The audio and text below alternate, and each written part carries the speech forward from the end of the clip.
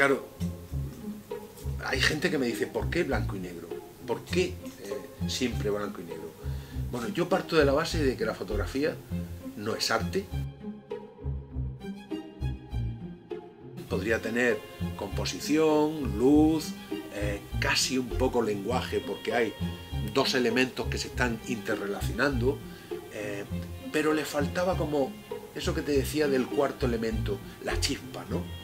Bueno, aquí ya me sorprendió él, miró, eh, yo sigo, empiezo a buscar la calle y empiezo a fijarme y fíjate cómo eh, de repente veo que por aquí pasa este señor que se da cuenta que estoy haciendo fotos y se tapa la cara.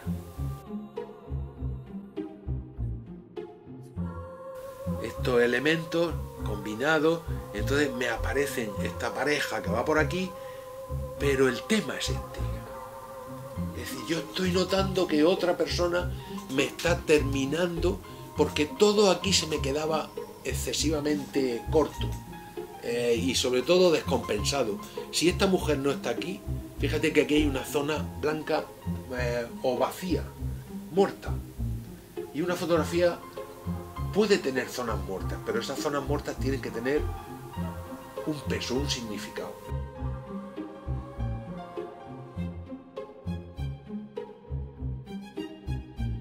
Estoy con la mano tal, en ráfaga, a veces lo pongo en ráfaga,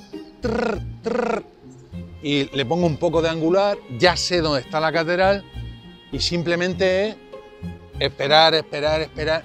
Por cierto, a las, a las palomas hay que fotografiarlas llegando, no yéndose. Cuando tú fotografías una paloma yéndose, está con la ala abajo, pero siempre llegan con la ala arriba. Entonces, claro, es una preciosidad. Y es increíble la amistad que he hecho con todos los mendigos. La amistad. O sea, me quieren. Este, por ejemplo, es un búlgaro, Iván se llama, habla muy mal español. Se ha hecho tan amigo mío que me busca libros, me da información de cómo está la plaza, de lo que voy a encontrar, de si va a haber algún acontecimiento.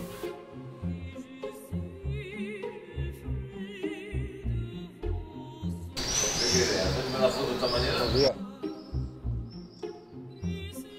Claro, que se a ver, fuma. de vencer esa barrera que hay. Mira aquí, mira aquí. Todo mira el aquí. mundo, cuando miramos la realidad, cuando Mira miramos la vida, tenemos delante la mirada de alguien hacia esa armonía, la, la remueve. Y, y una cámara es una mirada, la remueve. Y entonces yo creo que eso es lo que provoca el interés de la imagen.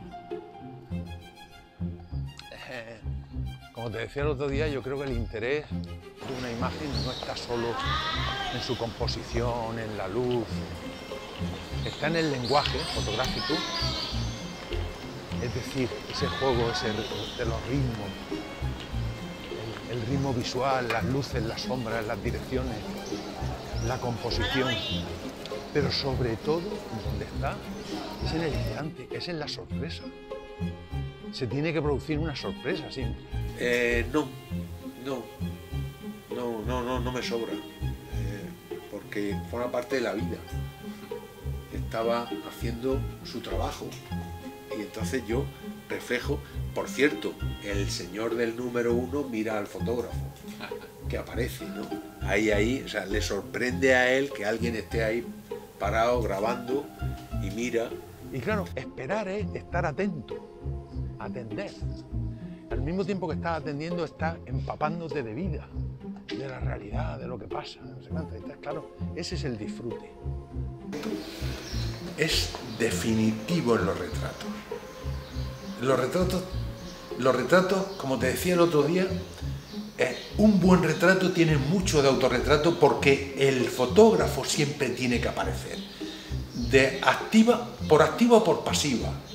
Es decir, hasta cómo se coloca, cómo mira y cómo hace que el, el retratado se sienta, se sienta cómodo, se sienta bien no cómodo, que se sienta natural, que se siente él. Es decir, que se llegue a abandonar. Eso es definitivo. Y eso es retratarse. Es decir, y, mm, piénsalo, un retrato de alguien en tensión el fotógrafo está tenso. Por eso siempre hay autorretrato. Es decir, siempre detrás de un retrato está el que mira. Y luego, por ejemplo, a ella le he dicho, digo, tienes que mirar a la cámara.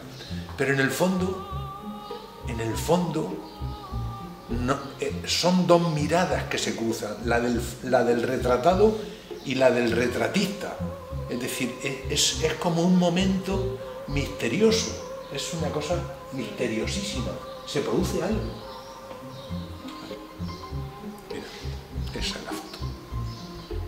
Y negro.